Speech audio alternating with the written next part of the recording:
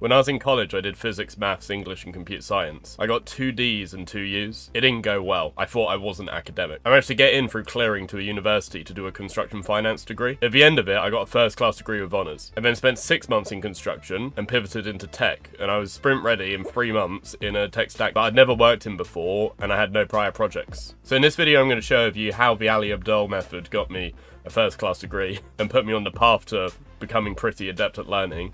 The strategy I then applied to become sprint ready in three months. And then the three things that you need to do that will get you noticed as being knowledgeable. So how do you get good at learning? Well, after my failure at college, I realised that this was my last chance to get my act together.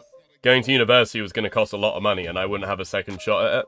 So I think I literally went online and typed in how to get a first class degree at university, and this would have come up. Now, it wasn't this specific video, it was an old one, but I think he's deleted, where he shared that he had all of these strategies for learning that he implied. He did the mind maps, he did like all of the classic things that you think of when it comes to learning. He had a friend that was massively outperforming him, so he asked his friend, oh, what, what's your secret? And the dude had a Word document and an app called Anki. And in this Word document, he would literally just write down questions and answers. Now, these guys were studying for medicine, so it would literally just be a collection of, okay, he's learned about, say, Mary Curie, and he would write the questions that would answer all the things that he needs to remember about them. So, when did she die? And then he would write the answer. And he would keep writing these questions and answers until he had finished whatever textbook section that he was on, and it covered everything. And then he would copy and paste these into an app called Anki, and this is what the GUI looked like. So you'd simply get a question and you'd think, okay, what's the answer? And then down here there'd be a show button. You click show and it would show you the answer. And based on whether you could remember what the answer was, you'd click you'd either click again, good or easy. So if you're struggling, it will show you more frequently. You can see there one minute, right? So it's going to show you again in a, in a minute. But if you found it easy, it's not going to show you that card for another four days. So essentially what it does is it, it asks you the questions that you need asking more often, more often, and the ones that you have learned quickly, it doesn't show you for a few days. Now, really, this only takes about five minutes a day because the cards become so spread out. There's some that are in my database that it only shows me once a year because I just know them, like the basics of coding, like stuff that I day to day still have in the bank just in case because, you know, you never know what you'll forget and I don't have to manage it anymore. It's managed by the software for me. Now, I'm not too sure I agreed really with having a bunch of Word documents with all of your notes because it's not a very smart way of organizing what you've learned.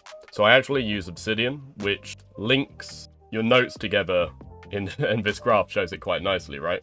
So this person has a book's note and he's linked it to some authors, and so he can literally see the connections between what he's learned. And it's just an overall really powerful note-taking app that I use. But I'm not going to go into too many details just so that I can give you the overall framework of what I do. So you've got Obsidian for taking notes, and you've got Anki for remembering what you've noted forever.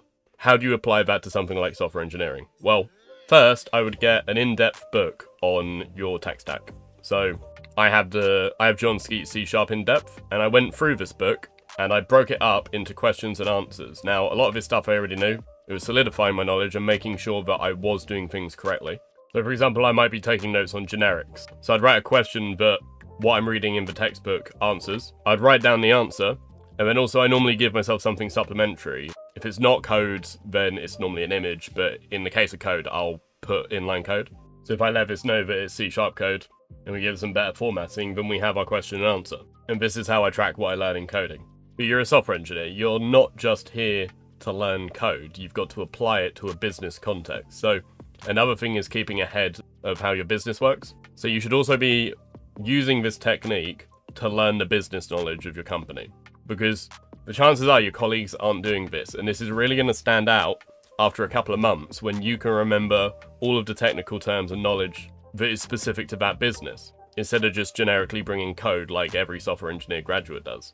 Once you've created these notes, you just copy paste them into Anki, and there you go. You've got them memorized forever for maybe five minutes a day.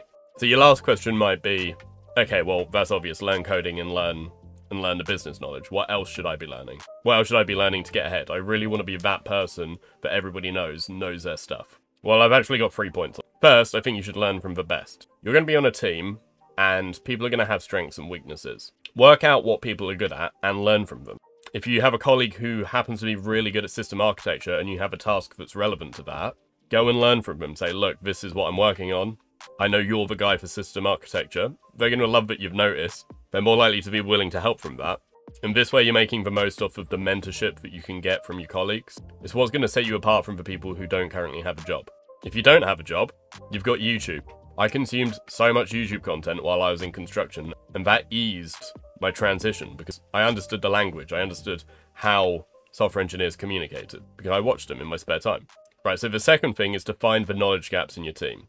Your team isn't going to cover every single aspect of what the business needs you to be able to do. Find where, find the holes. Maybe somebody recently has left and he was the guy for a specific library or framework. Fill that gap.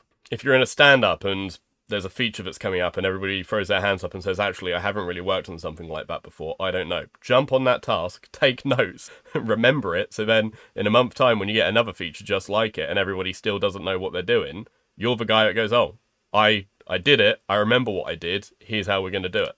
And lastly, keep up to date with tech news. Chances are you're probably using GitHub Copilot, and that's because that information has got to you. Think of all the tools that are equally useful that you're not aware of just because you're not keeping up to date with the industry. And you don't have to be sat there reading, you know, the tech the tech section of the Financial Times. Subscribe to some YouTubers that make the news interesting. Like I watch every Fireship video and it's hilarious. It's really good. And when I'm when I'm at work and people are talking about a new JavaScript framework, I already know about it. And the reason I remember that is because it's funny if you followed this strategy, you're going to notice that your knowledge for your career has exploded. But that doesn't strictly mean that you're going to be good at problem solving, which is still a massive part of your job. So I made this video here, which talks about my workflow for how I solve problems. It's not language specific, so it should apply to everyone. So if you click this video here, hopefully that helps. Cheers.